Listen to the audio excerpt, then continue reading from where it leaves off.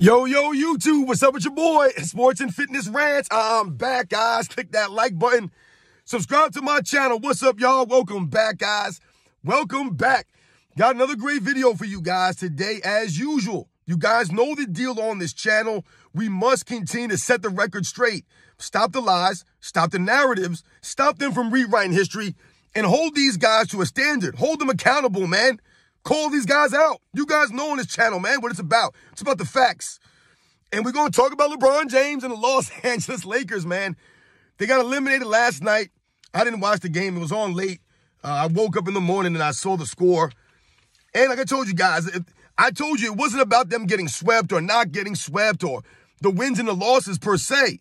I didn't think they were going to beat the Denver Nuggets. Really, no one really thought they would beat the Denver Nuggets but it's about the way that LeBron James continues to carry himself on the basketball court. And this man continues to make excuses in the post-game press conference. We're talk about this video, guys.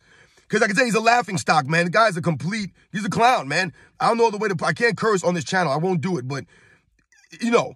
And I want to thank you guys, man. Everyone across the world, everyone across the states has been supporting my channel, man. Once again, guys, I'm truly humbled, man, for real, man. Shout out to my man Stefan over in Bulgaria that sent me that fan art. The dude's got some skills with the designing. Let me know, guys. I, I was thinking about making some sports and fitness rants t-shirts. Uh, you know, we'll see, man. I told you, I'm not really here for the money or sell things or things like that, but you guys have been asking me about some of this stuff, so maybe I'll think about doing some t-shirts. Let me know, guys.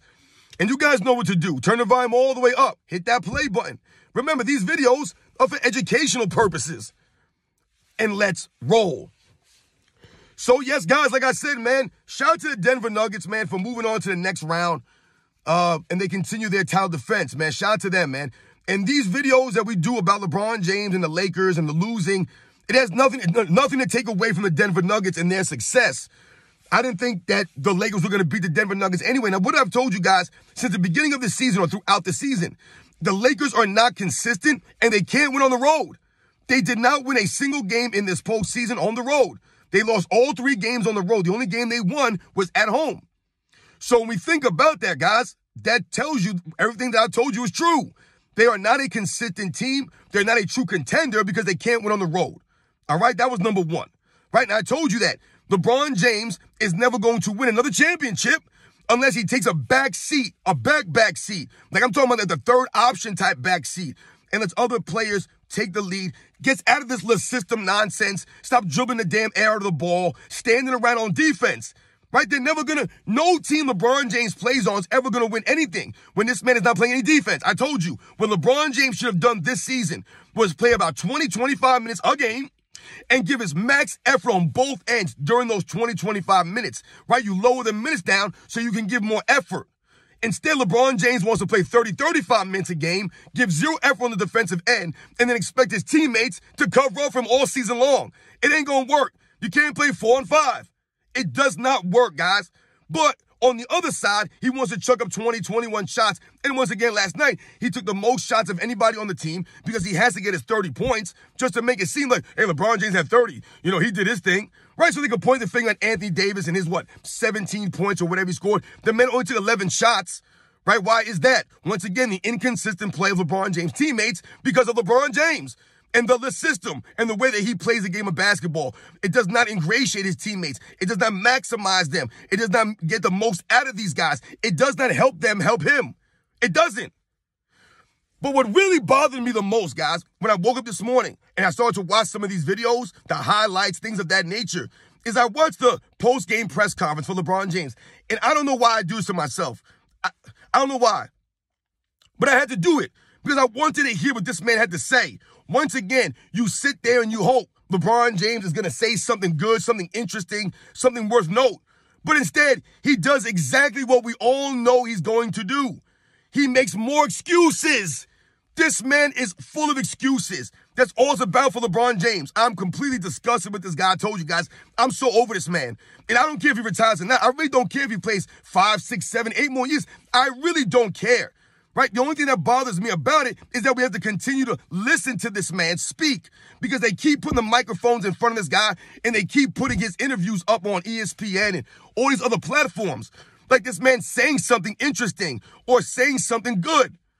All he does is expose himself. And last night was more the same. In the post-game press conference, once again, LeBron James dressed like a goofball clown. These guys have no swag. They have no class. Whatever happened to guys coming to the post-game press conference in suits, man? Whatever happened to this stuff? Guys looking like true professionals, not a bunch of, you know, idiot TikTokers and social media influencers. That's what these guys look like when they go on the post-game press conference. You ever see these fools? They're a bunch of idiots. Bunch of fools. But anyway, he comes to the post-game press conference and he proceeds to say things like, what? Oh, we weren't whole this whole season. We weren't whole. He starts to make more excuses.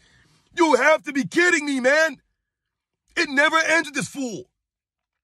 He's talking about, oh, you know, the only time that we were really healthy and full was during the in-season tournament, and you saw how we did in that. He really wanted to bring that up. He had the nerve to bring up the in-season tournament during the post-game press conference after you eliminated four games to one in a real playoff scenario. You bring the in-season tournament up as an example to show that you guys were true competitors when you were quote unquote healthy? But LeBron James won't mention the plus 500 free throws that they've had throughout the season. He won't mention that though, as to the reason why they were able to win the end season tournament. He won't mention all the lead, the lame teams that they were playing, the teams that they played that had injuries, the Memphis Grizzlies without Ja Morant. He won't talk about that, right? The New Orleans Pelicans with Zion Williamson in and out of the lineup all season. All teams have been dealing with injuries. All teams have had guys in and out of the lineups. But LeBron James always wants you to know that his team had injuries. What injuries? I'm, I'm trying to figure out what injuries have the Lakers had this season. They haven't had any injuries. If you guys remember, LeBron James exposed himself because when he talks about this stuff, you remember after the in-season tournament, what started to happen? The Lakers had to play a real schedule against the real NBA, and all of a sudden he started to lose games. And then what was the rumors going around? Oh, they got to trade D'Angelo Russell. They got to trade Austin Reaves. They got to trade Hachimura. They got to trade this guy. They got to trade Anthony Davis. They got to fire Darvin Ham. This was going on during the regular season, but LeBron James wants you to believe that the reason that they didn't win in the postseason is because they were in, they were not healthy. More excuses for LeBron James. Bringing up the in-season tournament like, dude, man, once again, you have nerve, man. He lacks any self awareness. I swear this man thinks that we're all stupid. I told you. He looks down on the commoners. He thinks he's smarter than everybody else. He really believes this. He thinks he's smarter than us. He thinks we're blind. We're not paying attention. He thinks that we don't really know the history of the game. Once again, I've told you guys, the true basketball fans, right, who respect the history of the game, right, who carry themselves with the integrity, that are genuine, right? They know that LeBron James ain't nowhere near some of these guys, man. They know that.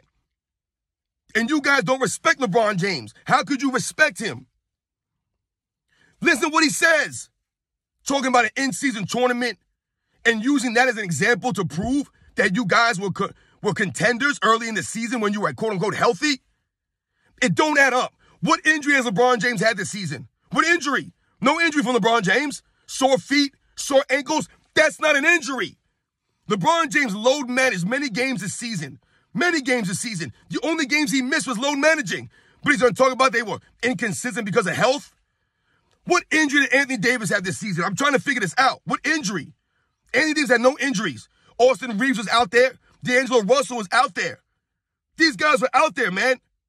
What injuries are we talking about here? LeBron James needs his entire team 100% healthy, 100%. He needs to have three or four All Stars on his team. He needs to have all the free throw advantages. All the fouls must be in his team's favor. All of these things have to happen for the Lakers to be successful, for LeBron James to be satisfied. His teammates have to play the highest level.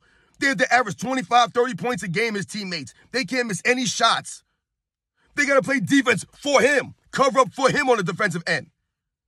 These are all things LeBron James needs to be successful. But they they want to argue that he's somehow close to Michael Jordan. Guys, LeBron James again has lost another playoff series with an all-star teammate. You guys know how many playoff series Michael Jordan lost with an all-star teammate? He lost one, guys. One playoff series when Michael Jordan was an all-star with an all-star teammate. One. And you know what series that was? the 1990 Eastern Conference Finals against the Detroit Pistons, the defending champions. However, the thing about that series that we all remember was what? Scottie Pippen played in game seven with a migraine and scored two points. Two points in that game. So could we now point the finger at Scottie Pippen and say, hey, Michael Jordan, the Bulls would have won that series if Scottie Pippen showed up and scored more than two points? Could we put, the blame on Scottie Pippen? We all know that LeBron James and his fans would have put the blame on Scottie Pippen if that was LeBron James on the Chicago Bulls. They would have definitely blamed Scottie Pippen for scoring two points in a game seven. That's the only series Michael Jordan ever lost, guys, with an all-star teammate. Think about that. Never lost when he had an all-star teammate. Never lost when he had help. Never lost when he had home court advantage. LeBron James, though, once again has lost another playoff series with an all-star teammate. Right? He's lost many series, guys, with an all-star teammate. Many series. And he didn't have a, a Scottie Pippen migraine game teammate going on there. I don't remember Anthony Davis having a migraine in any of these games. Anthony Davis averaged damn near 30 points a game, right? Damn near 15 rebounds a game in this series. But they'll say LeBron had no help, right? They'll blame D'Angelo Russell or Austin Reaves. The role players get blamed playing with LeBron James. That's how great he is. Think about that. LeBron James is so great, they blame the role players when his teams fail. That's how great he is. Exposed. They never blame the role players when Michael Jordan didn't win, or Bill Russell, or Wilt Chamberlain, or Jerry West, or Kobe Bryant, Tim Duncan. They don't blame the role players. No. They blame the star.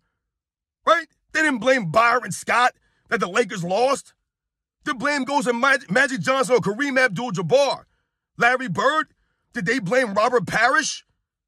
Did they blame all these other guys? Danny Ainge? No. Larry Bird was a leader. These guys always took the responsibility. Wasn't no one blaming these other guys. Only for LeBron James do they put all the blame at the role player's feet all the time, or the coach, or both. But they want to argue LeBron James is the greatest of all time. It don't add up, guys. It don't add up. You're not holding him to that standard. And this man continues to embarrass himself in these post-game press conferences, making excuses, injury excuses. You guys weren't 100% healthy? What? What are we talking about here? Anthony Davis played what? 75 games this season? Whatever amount of games, played more games than LeBron James. Him and LeBron James played 70 plus games this season, guys. Where's the injuries, excuses? I don't understand this. It don't add up. The man is just, anytime he can make an excuse, anytime he can deflect off of himself, he does it. And this is why we'll never respect LeBron James because he'll never own up. He'll never take it on the chin. He'll never take it like a man. And this is why I tell you anyone that supports LeBron James is a kid, a child. That's the mentality of a kid. Only a child always looks to point the finger at somebody else. It's always someone else's fault. A grown man understands and takes responsibility for their actions, for the outcomes. They take responsibility. They own it. They own it. LeBron James never owns his losses. He never does. He pouts and moans, walks through the tunnel, tears his jersey off. He points the fingers at his teammates. He comes to a post-game press conference and reads off his stat line. Never defends his teammates never gives them their just dues. He talks about how much that made him the GOAT, how great he is. He's averaging a triple double. He's the greatest player in the world. Me, me, me, I, I, I. I've told you that. It's all you hear when LeBron James speaks. It's all you hear. And last night, he continued more the same, right? Put the blame on injuries. The Lakers weren't healthy. All teams are dealing with it. Jamal Murray wasn't even 100% last night, but he went out there and he balled out right dunked right in LeBron James' face with a sore calf. Hit two game winners in that series. How many game wins did LeBron James hit in last season's playoff series when they got swept four games to nothing? He missed a bunch of game winners. How many game wins did he hit this season? He had a chance. He was wide open the three point line with about 15 seconds to go, and he bricked it up. And then Jamal Murray hit the game winner. Exposed. It has nothing to do with your age right? Raising your level of play, making a shot when it matters most, being clutch, ain't got nothing to do with your age. LeBron James raising up for that three point shot at the end of that game had nothing to do with him being 39. Because remember, they tried to tell us during the season, that article, remember, that LeBron James has become one of the best shooters in the NBA at age 39. Where was that shooting when he needed it most? It's not there. Because LeBron James is not clutch. LeBron James is not that dude. In the regular season, it's fine. In the postseason, when it matters most, his palms get sweaty. He gets all nervous, right? He starts blowing on his hands. He don't got the confidence. And he throws up a brick. These are the facts, guys. Once again, I've never hated on LeBron James on this channel. These are the cold, hard facts. LeBron James is a clown. He's a fool. And he, once again, he comes to a post-game press conference after he gets embarrassed four games to one. And he starts to talk about, oh, we weren't healthy, but but since the early part of the season, when we won the in-season tournament. He really brought the in-season tournament up as a, a crutch, as as to show that they were a good team in the beginning of the season, early in the season. They were a good team. Meanwhile, Darvin Ham was on the hot seat. Everyone was going to get traded. Remember that? Everyone was going to get traded. And then when they didn't make any trades, LeBron James was upset. Remember, he sat out the next game? Remember that, guys? This LeBron James, but he wants to make more excuses. I'm so done with this guy, man. But like I said, he continues to give us more ammunition to roast him. He continues to embarrass himself with these comments, never taking ownership of anything. Oh, yeah, you know, we weren't healthy. Uh, you know, but when we were healthy, you saw what we could do in the in-season tournament. You look real stupid right now, LeBron James, because you celebrate that in-season tournament like a clown. You know, it's funny too in that post-game press conference. I don't know if you guys uh, uh, uh, heard it, but he said something about someone asked him a question about what they could take away from this series because if you think about it, they had to lead in essentially all those games and they still lost. So the reporter asked, "Can you guys take away any positives from this series because you were competitive with the defending champions?" And LeBron James proceeds to talk about, no, I don't take anything away from this. You know, he talks about how, you know, he wasn't celebrating, you know, a loss or celebrating, uh, what he say, man? He said something about celebrating like, you know, uh, like a woulda, coulda. You know what I'm saying? Like, they, he talk about, oh, we, we lost. But then at the same breath, right, he talks about the in tournament. So it don't add up because you're saying that you're not celebrating those kinds of things, a moral victory or some of these other things. You don't celebrate that kind of stuff, but you guys celebrated the in-season tournament like it was an NBA championship. It don't add up. Once again, LeBron James saying things that does not match up to what we saw in the video footage, what we watch. It don't add up. You're celebrating the in-season tournament. You're drinking champagne out of the cup. You got goggles on. You guys are spraying champagne everywhere for an in-season tournament. But then you want to come to the post-game press conference after you guys lost in a real playoff scenario and talk about, oh, there's no moral victories here. You know, we lost. I don't celebrate these kinds of things. What? Dude, you celebrate everything. You slam dunk on a little guy and you start flexing and celebrating like that is something to be, like, come on, man. Everything with LeBron James is a spectacle. He don't get a foul call, he throwing a temper tantrum. Meanwhile, the Lakers shot more free throws by a mile than anybody else. Does anybody know how many free throws they shot last night? The NBA tried, guys. The NBA officials, they tried. It did not hold up, though. They shot 27 free throws, guys. The Nuggets, nine. Nine. Nine free throws to 27. And they still lost. This is LeBron James. This way he gets exposed. Because he won't talk about that in the post-game press conference, will he? No, but he'll cry during the regular season that the Lakers didn't replay something or that they didn't get a foul call. It's a joke, man. And these fans respect him. These LeBron James fans, I told you, they expose themselves. All these fools out there that support LeBron James and his antics, the things that he says, the way he carries himself. They support this stuff because they stand for nothing. They stand on nothing. No class, no honor, no integrity, no love of the game, no respect for the fans. None of this stuff. So LeBron James can lollygag all season long, play no defense, blame his teammates. The fans will blame his teammates. The media will blame his teammates. They'll blame the coaching staff. And then he'll come to a post-game press conference after they were eliminated and take no ownership. No onus. No. Not like, yeah, man, you know, we didn't get it done, man. I, I didn't play that great. I didn't I didn't get the most out of my guys. You know, we just didn't get it done, man. The Nuggets are on another level. We just we're not on that level right now. None of this stuff. None of this stuff. He's talking about, hey, yo, uh, we, we haven't been healthy. You know, we weren't healthy. Uh, when we were healthy in the beginning of the season, you know, we won the in-season tournament. You know, so we weren't healthy. And, uh, you know, we don't celebrate these kinds of things. We, we only, like, dude, you celebrate the in-season tournament. You guys hung a banner up. They gave you an in-season tournament MVP trophy. And you guys were, once again, no humility from LeBron James. No humility, man. The dude's not humble at all. And you would think with all the failures of his career that he would have humility. He would have been humbled. But he's not humbled. You know why, guys? Because he never has to take the blame. How can you get humbled or be humbled when you never take the responsibility or the blame? None of it. So, a win is a win, a loss is a loss. I told you LeBron James is in a win win scenario. When the Lakers win, his team wins, it's all LeBron James. You see the headlines LeBron James leads Lakers, LeBron James this, LeBron James that. When the Lakers lose or his team loses, it's D'Angelo Russell, it's Anthony Davis this, it's Hachimura that, oh, it's Darvin Ham made a mistake here. It's always something else. They won't even mention LeBron James. They won't mention him. They might mention his stats real quick, but that's about it. They'll never mention him walking off the court early, right? They won't talk to him, uh, talk about how he's never engaged on the bench in the huddles. Darvin Ham's trying to draw up a play, talk to the guys, get them on the same page. Here's LeBron James off to the side, looking down, soaking, all upset. Terrible body language from LeBron James. I know I've rambled on really long here, guys. I'm sorry, man. I'm gonna do another video, man, because we must continue to do this stuff, man. This guy's an embarrassment. Go back and listen to the post-game press conference. Listen to what this man had to say. This guy's a joke, man.